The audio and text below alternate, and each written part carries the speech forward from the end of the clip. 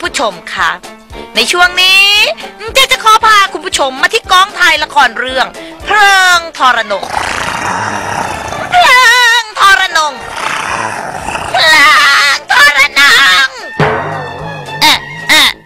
ตะโกนจะคอแทบแตกแล้ว ยังไม่ตื่นอีกแล้วเนี่ยแอะมาริโอคะ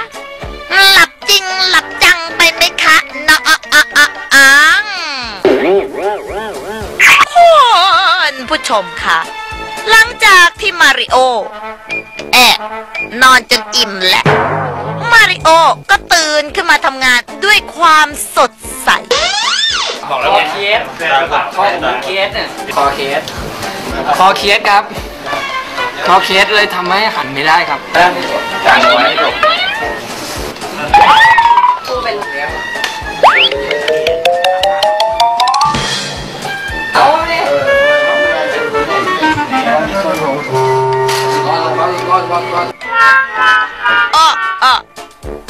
ตื่นขึ้นมาก็บ่นว่าคอเคล็ดเลยคอหูเคล็ดแหมมาริโอคะไม่รู้ว่าจะสงสารหรือจะสมน้ำหน้าดีเลยค่ะ เนี่ยคุณผู้ชมคะถึงแม้ว่ามาริโอ แอบจะแอบหลับในกองซะจนคอเคล็ด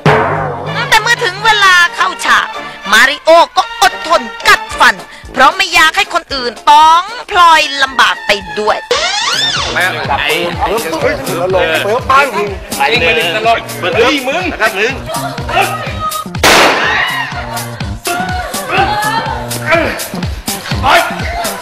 ใจเย็นนะหลังน้องไม่ค่อยดีเลย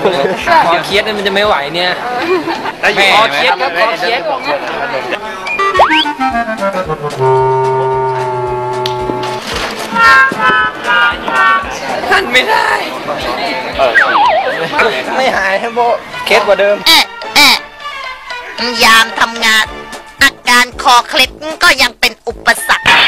แอะมาริโอคะเจแนะนำให้เลิกกองไปรักษาคอให้หายเคล็ดซะก่อน แล้วค่อยกลับมาถ่ายใหม่วันหลังดีกว่านะคะนะอะอะอะอัง